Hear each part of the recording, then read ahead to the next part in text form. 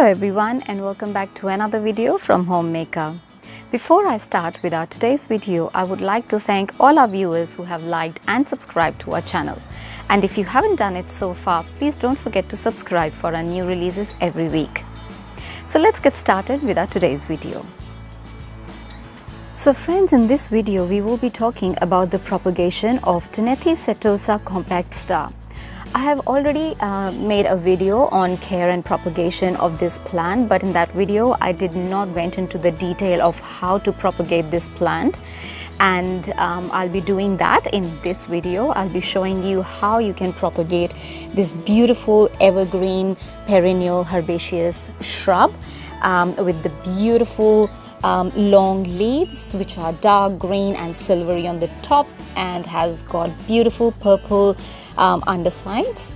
So friends this plant makes a, an amazing house plant and because of um, its beautiful striking um, green foliage uh, it looks very stunning very beautiful uh, especially as indoor plants. You can um, grow these plants outdoor as well as under shade under shade plants like under tall trees or as ground covers because these plants give out um, offshoots. And when they give out offshoots they kind of spread everywhere very easily. And as you can see here I have got this whole corner covered with big Ctenanthe setosa uh, compact star. And um, it has completely covered this whole and, and, as you can see the height of this plant it uh, the leaves have already gone approximately one meter in length and they look really really beautiful. So um, let's get started with the propagation of this plant. So friends as you can see there are two clumps of um, in front of you you can see two clumps of um, uh, compact star. One is that one over there and the another one is this one. So what happens is that one fully developed clump will give out an offshoot from under the soil and after traveling a little bit of the distance it will give out another shoot which is this one. So what we are going to do is today is we are going to divide that one and I'm going to clearly show you how you can do that uh, just let me put a little bit of the focus on the soil.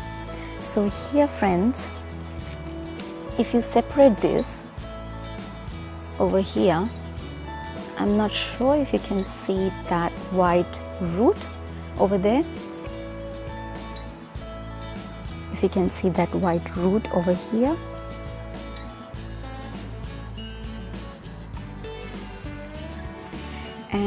same way over here you can see this shoot offshoot that is attached to the mother plant. There.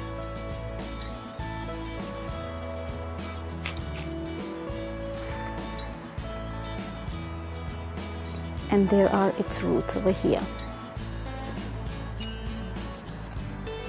If you can see this one is the root of this shoot. And this plant is attached to the mother plant over there.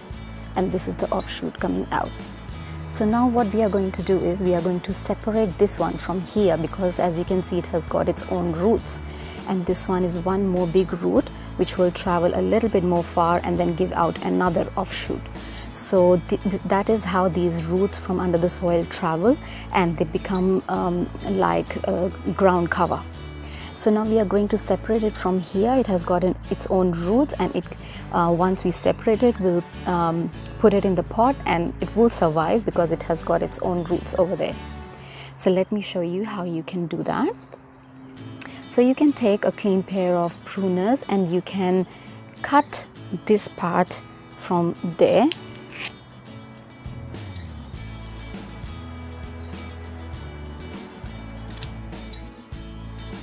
So I have made a simple snip over there and then you can pull it out. Don't be very hard on it. Just remove a little bit of the soil and then separate out easily. It'll easily come out. Loosen it up a little bit and then there so it has got its own well developed roots. And as you can see this one is already giving out its offshoot. And you have your very own bunch of Ctenanthe compact star. So friends here we have successfully got a beautiful cutting of Ctenanthe setosa compact star with beautiful three um, leaves and one leaf coming up from here if you can see. And this is the offshoot which will in future give rise to one more uh, and as you can see here you can see this tip growing over here and it will give rise to one more uh, clump of Ctenanthe setosa um, under the soil. So if you want you can propagate it in water as well. So after you have taken out this cutting give it a good wash remove all that soil and put it in a jar of water. You can do that. Or if um, I would suggest you to uh, um, directly transfer it into the soil because the roots are quite well developed. I don't think any point of putting it in water. It is also giving out an offshoot and as you can see the offshoot has also got a tiny little root over here. Uh, the root over there. So um, today I will be showing you the soil that uh, you need to uh, pot this cutting and um, talk a little bit about its uh, care conditions. So let's get started. So here I'll just move the camera down a little bit so you're able to see the soil that I've got. So here in front of you I have got this coco coir or coco peat. You can use coco peat, you can use a regular potting mix and I will I have if you can see I have added a little bit of perlite all those little little white things in there uh, that is nothing but perlite so this one so if you want you can add um, pumice you can add coarse sand to the soil. If you don't have perlite that's completely okay. Um, and in this soil mix I would also be adding a little bit of compost in it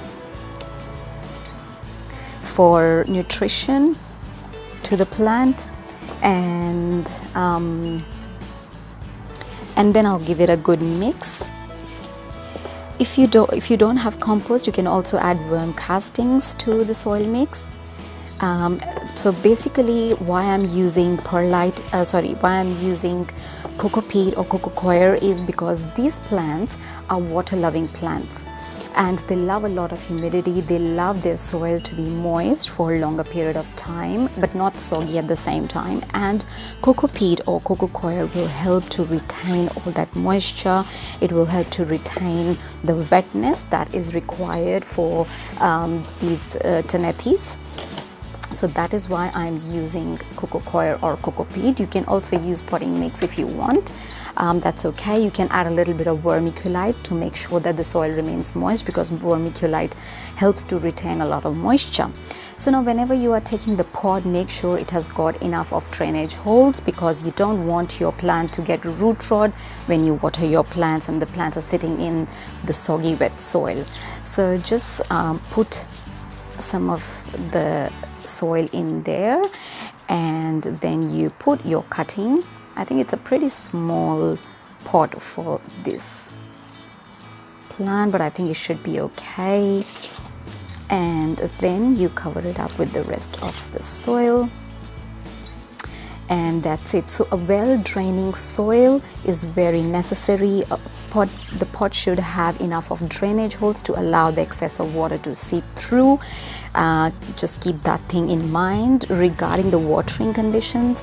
I would always always suggest to check your soil before you water it. Now this soil if you can see i have already wet this soil I have already made it moist. So after I pot this I will I'm not going to water this because the soil is already moist. If I water more it's going to be too much soggy and that can uh, be harmful to my roots to the roots of this plant. So I'm not going to water it again.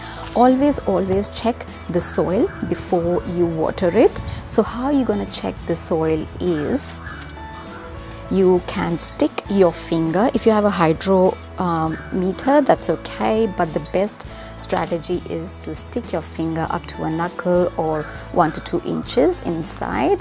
And if you can feel the wetness if you can feel the moisture just leave it do not water it. If you feel that the soil is dry up to one to two inches please go ahead and water your plant.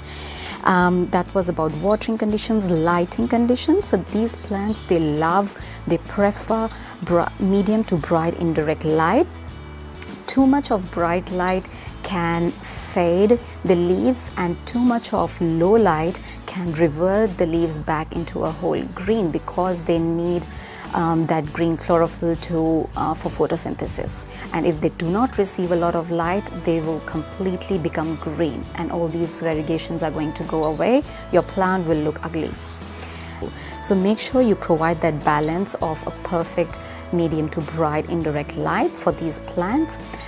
Exposing to a, a, direct sunlight can burn the leaves. It will cause the crispy leaves on the corners it will burn the leaves and the leaves will start turning yellow. The plant is not going to look beautiful. So don't expose these plants to a direct sunlight. I'll just move the camera a little bit up while I'm talking to you so yes and uh, regarding humidity which is very very important for these plants. So humidity they are humidity loving plants. So always um, for humidity there are certain ways that how uh, you can maintain the humidity in your house. First thing is uh, humidifier. So that's the best option because humidifier, humidifier uh, will make sure that it gives the um, maintains the humidity level evenly in the room and all the plants which are humidity loving like peace lilies, syngoniums, ctenanthes, calatheas, stromanthes, all these plants cluster them, put them um, uh, near the humidifier to, so that, that all that moisture goes um, is beneficial for these plants um, the next uh, way how to improve the humidity is by using the tray, the pebble tray. So you take the pebble tray, put a little bit of water in it and place your pot on top of the uh, on top of the pebbles. Make sure that it's the pot is not sitting in water. Just place it on top of the pebbles, not sitting in water. Um, and when the water will evaporate, it's going to benefit your plant. Um, next is by misting the leaves. So if it's really hot and um, the plant is still moist, you can still mist the leaves, um, but it's like if the if the air is dry that water is still going to evaporate. So if you choose to mist the leaves you might have to do it two to three times during the day so that you make sure that the humidity is provided to the plant throughout the day so that's one more point. Um, and clustering all those humidity loving plants together. So what happens is that all the plants they transpire during the day and night. So when they're transpiring they benefit with all that water that they are taking out. So uh, they all of all those plants they share that moisture sorry and uh, it, it benefits all the plants. So that is one more way how you can improve humidity. So humidity is very important for these plants and they'll tell you because the leaves will start turning brown and crispy and they'll tell and you'll come to know that the air is dry and they need humidity fertilizing. Um, these plants do not need a lot of fertilizer. Very weak dilution of um, a complete liquid fertilizer during spring and summer is just enough. Winters and autumn no need to fertilize at all because they go dormant. They do not grow during the winter season or the autumn season. Um, only spring and summer and um, they, these plants are quite susceptible to the pest. So just keep an eye on these plants. If you think that um, you can see any pest on them neem oil solution the perfect um, pesticide organic natural pesticide. Or you can use hydrogen peroxide solution baking soda solution and uh, to remove all those pests. Um, these plants are toxic to children and pets so just make sure that you keep these plants away from the reach of children um, and uh, that's it about these plants basically. So in this video we have talked about the propagation. I've showed you the potting of these plants. I've talked about the soil watering lighting conditions of this soil uh, sorry of this plant. I hope you enjoyed watching this video. Um, if you really liked it please give us a thumbs up um, and do subscribe to our channel for new releases every week and we will see you next time with another exciting video. Till then, stay safe, happy gardening and wish you a very very happy new year.